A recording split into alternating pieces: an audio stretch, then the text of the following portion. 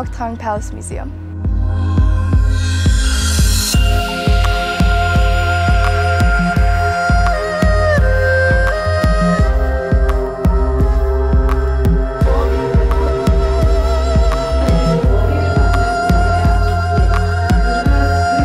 Our museum was built from 1893 to 1903 and was one of the four royal residences of the Bogd Khaan, known as the Green Palace.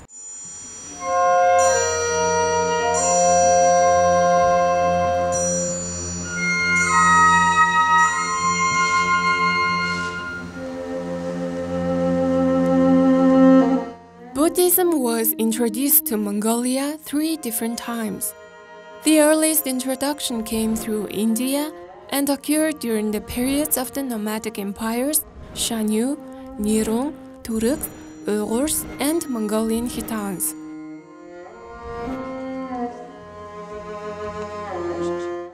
The second introduction took place during the period of Chinggis Khan and his immediate successors up until Toghon Temür Khan from the 13th to 14th century. The third introduction began in 1578 and is called Buddhist Renaissance period. During the years between 1639 to 1924, eight Bogd reincarnations were all recognized as the head of religion on Mongolia.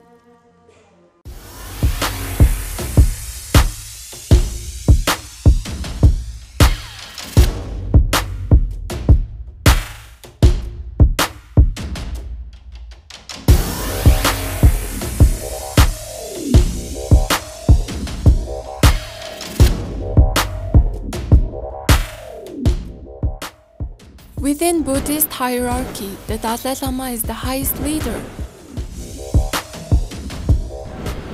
followed by the Panchen Bogd or Panchen Nirten and the Bogd Javtsendam. These Hotokt reincarnations were regarded as living gods and revered by many as such. Of these, the Bogd Javtsendams were especially important in Mongolia. They were extremely impactful to the structure of the nation. Bogd Khaan was the only theocratic ruler of Mongolia, meaning that he was head of state and head of religion. And he was also the last king of Mongolia. After his death in 1924, the palace was converted into a museum in 1926, and since then it has been 100% conserved and is the only authentic palace museum in Mongolia.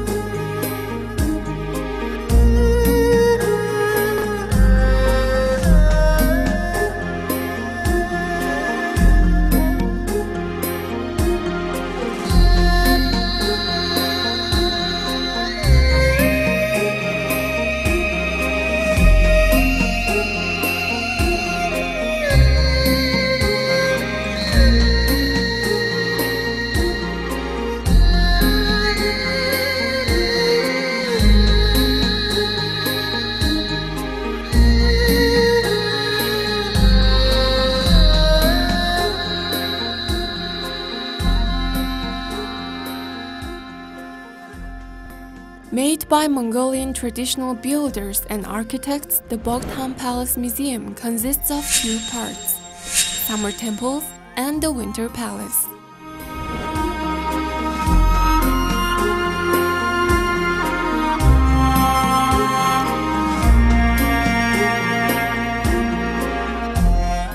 The seven summer temples are comprised of the following the Maharaja's Temple, the Temple of Appliques, the Temple of Thangkas, the Temple of Many Deities, the Library Temple, and the Labrang Temple. The Winter Palace consists of a two-story European-style building. This is the Yampe Shield Wall located in front of the museum. It was made from blue brick and was meant to protect the palace from otherworldly evils and dangers. It is one of the three shield walls located in Mongolia and can only be built with special permission from the Manchu Qing Emperor.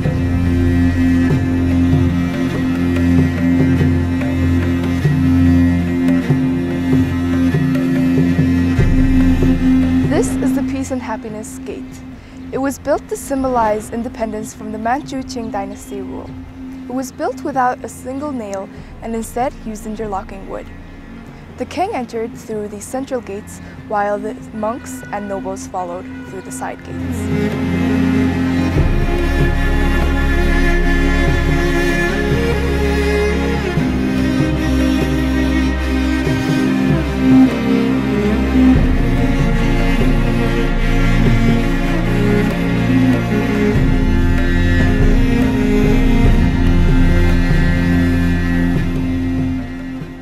The Gate of Peace and Happiness was built to memorialize the proclamation of the eighth Bogdjavzendam, sunlit and eternal, as theocratic king of Mongolia from 1912 to 1919. The gate was built without single nail. Instead, it consists of 108 interlocking wooden pieces. It is one of the five monuments held together by interlocking puzzle pieces in the world.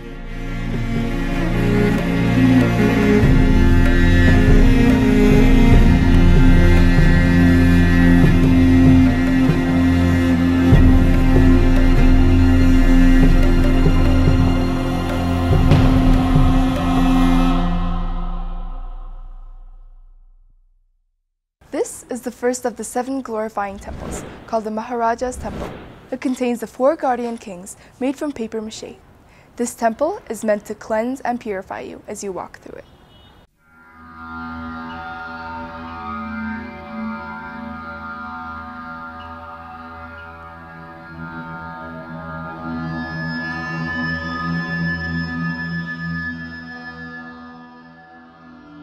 The temple was built in 1903 and features four Maharajas that sit in guard over the Buddha inside. There are four continents in the mythical religion.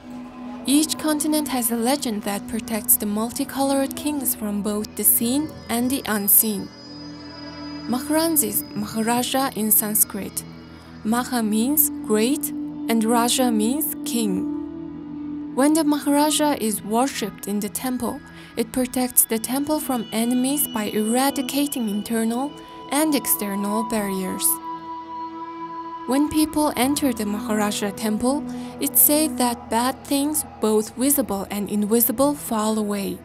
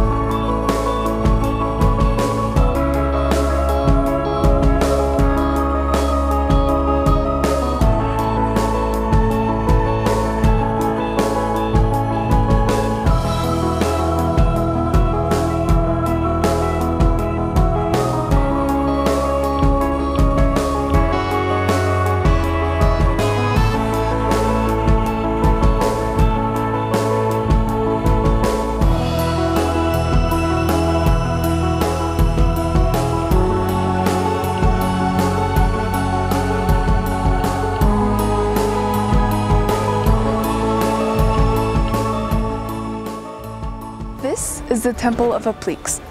Appliques is a Buddhist art form that uses the layering of silk, gold threads, and precious gems.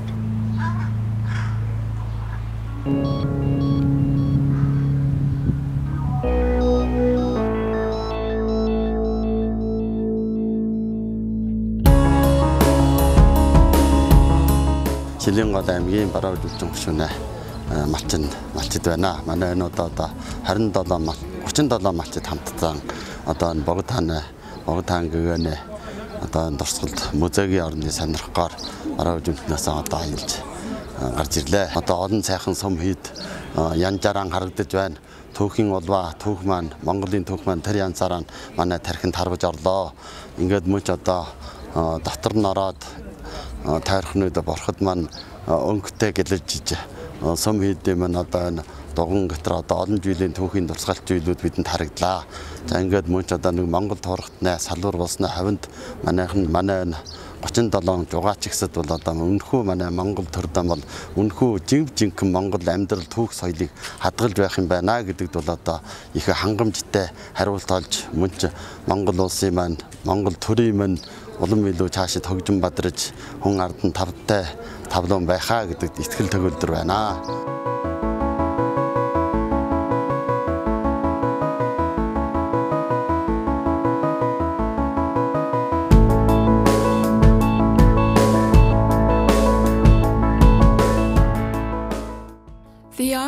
Silk applique was the leading trend in the early 19th and 20th centuries.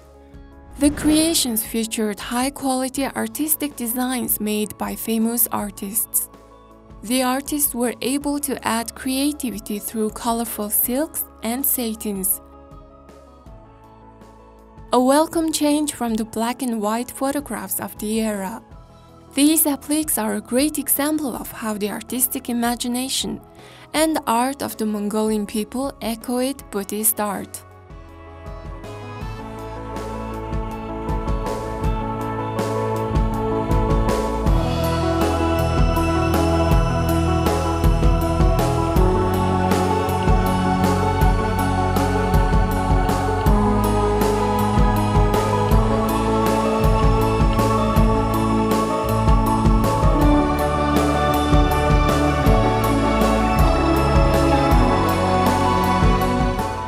Домд ард улсаас ирээд Монгол улсад ирж буг танай энэ сайхан ордныг одоо тайран үжилээ.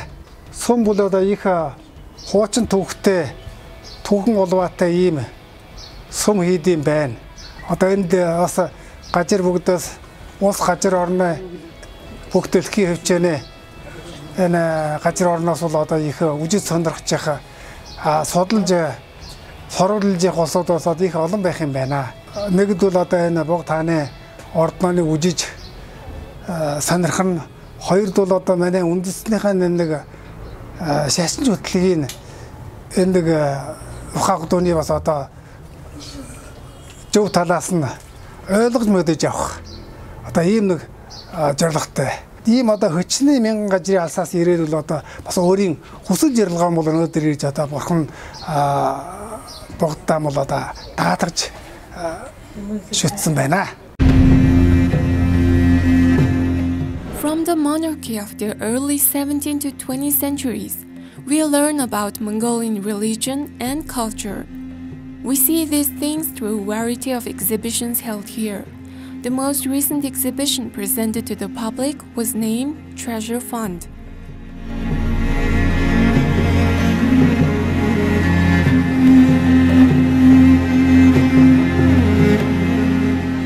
This is the Temple of Thangkas. Thangkas are a Buddhist art form which uses mineral paint made from crushed precious stones and gems.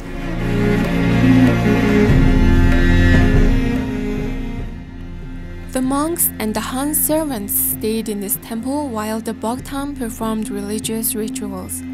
The gods in this temple are works from the 18th and 19th centuries.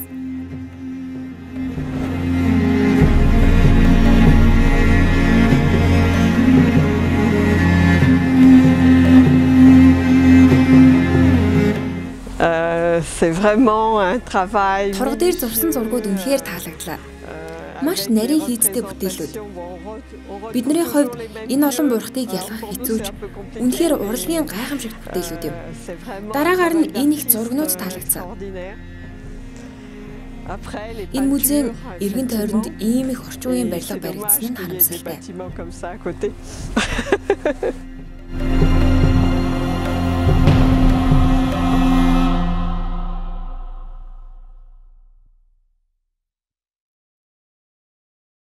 This is a Naron temple, which currently displays Buddhist musical instruments.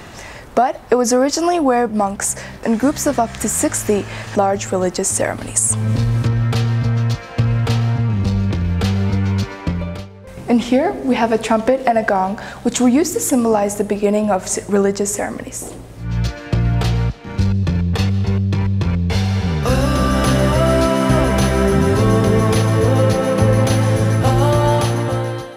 Over here, we have cymbals, trumpets, and in the middle, we have a damaru.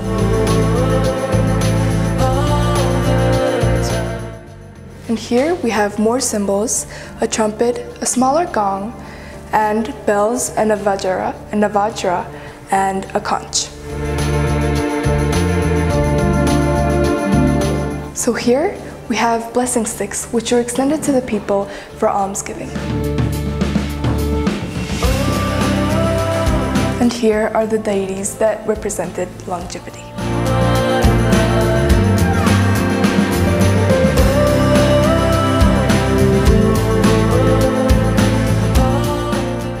Uh, the first time I came to Mongolia was nine years ago. And then uh, I arrived this week for a second tour. I think uh, all museums are important. They uh, capture the uh, history of a country. So this museum is doing that. Uh, uh some uh, Mongolian leaders, religious people were here. And uh, it's good to recount and have for a record what they did so this museum does a very good job with that.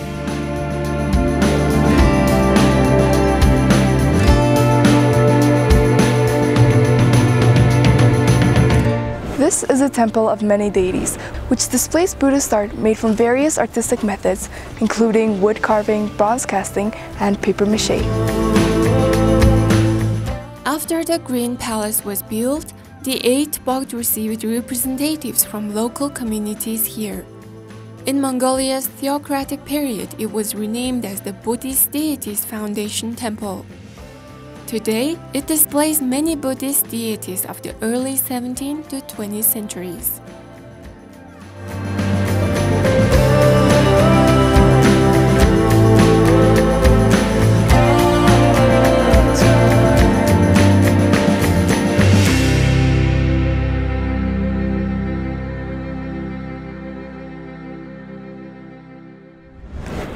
The library temple, which once housed thousands of religious sutras and was used by the Bogd Khaan for his religious readings.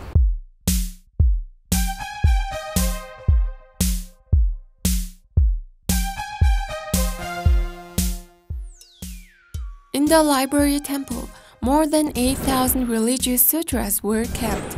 Foreigners who traveled to Mongolia during this period wrote that the books of Babylon that contain secrets and mysteries were stored in this very library as well. Most of them are currently in the State Central Library. In addition to some of the scriptures, printing method and stupa replicas are also on display.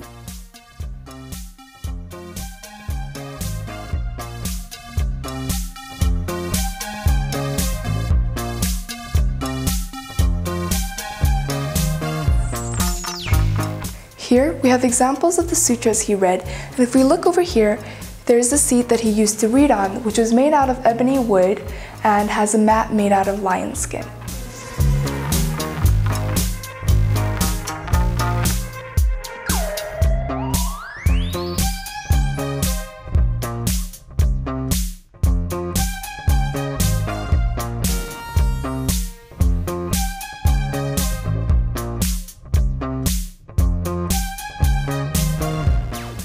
Frame inset with precious stones such as coral, turquoise, and agate was meant to provide luxury and finery for the green Tara inside.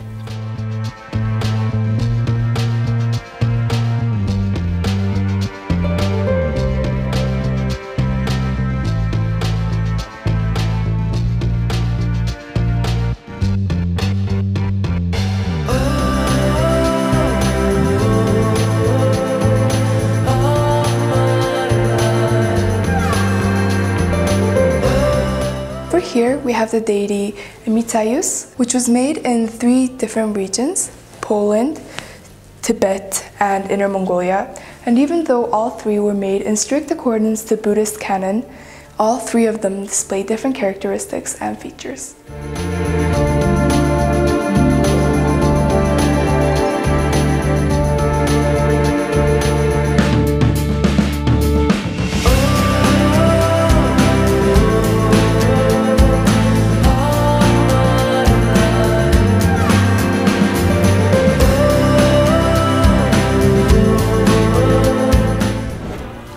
The Labrang Temple, where only Bogd Khaan and his highest monks were permitted. It currently contains masterpieces made by the first Bogt Zambat.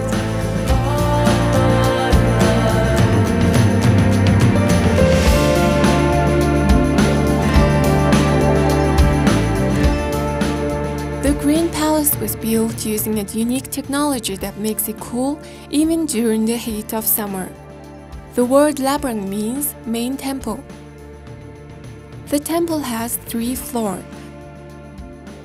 The third floor was reserved for the worship of Bogd Khaan's main deity, Achurder.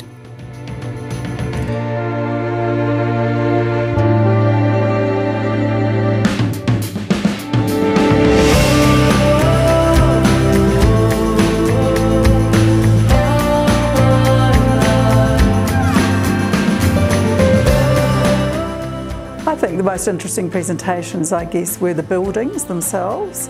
Just the architecture is so different to anything we have. Um, and also just the amount of um, statues and how they lived here, like they were all very interesting. But I think to see how the king and queen lived and um, the furniture they use and the clothing they wear and all their statues and the strong ties to Buddhism, it's, it's very interesting. But of course, the first impression is the buildings.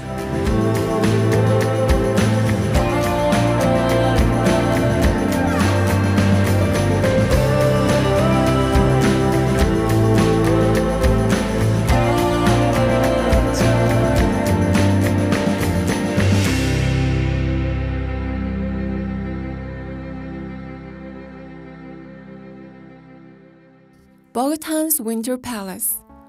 The Winter Palace was built in 1903 from a Russian architect's blueprints. The top floor of the Winter Palace was where foreign and domestic dignitaries and officials were received.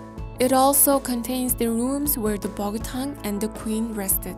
The Winter Palace displays many exhibits such as Queen Dondogdulam's dragon pattern silk dale, the infinity patterned dale, the Queen's head dress, tobacco pipe, prayer beads, peacock feather vest, chair and bed made of ebony wood, and a vanity table. There are wall decorations presented by Chinese craftsmen and the Bogd Khaan's Buddhist ritual clothing and regalia, as well as protective deities, and ornaments made of ivory. Here you can also see the Bogd Khaan's nine dragons tail, a beaver skin hat, a cording vest, a silk vest with the same symbol, a pearl trimmed crown, and a vest made of 80 sables that belong to the Undurgigen Zanotar. There's also a dais made of sable which was worn by the Bogd Khaan when he was proclaimed ruler of Mongolia. Bogd Khaan's snuff, knife, stationery, the king and queen's official throne seats, and the state stamp are all preserved here. The Bogd Khaan ceremonial vest, which was made with 22,000 pearls, is preserved here too. The Bogd Khaan kept quite an exotic collection of animals, including monkeys, parrots, and even an elephant. In 1901, a taxidermy animal collection was created that featured animals from every corner of the world.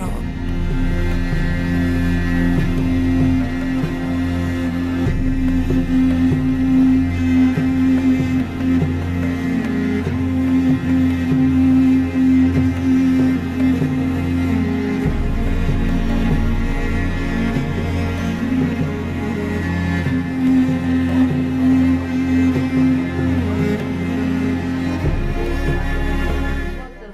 the most important historical sites is the museum, We visited the Bogd Khaan Palace Museum and the museum's exhibits truly display the history of Mongolia. The museum is open from 9 a.m. to 6 p.m. every day of the week. Ticket price adult 8,000 tugruk, student 3,000 tugruk, children 1,500 tugruk. Well, I think uh, Mongolia is a place everybody should come if they have a chance. Uh, they can see some uh, the beautiful national park, and uh, of course eating the Mongolian food and several a- fantastic museums here. So, it's uh, the Mongolian people have been very friendly. So uh, it's a I I perceive it as a very safe place to be. So I think it's a good place to come and relax and uh, enjoy a different culture and some uh, different food. And I think people would have a very good time if they came and enjoyed Mongolia.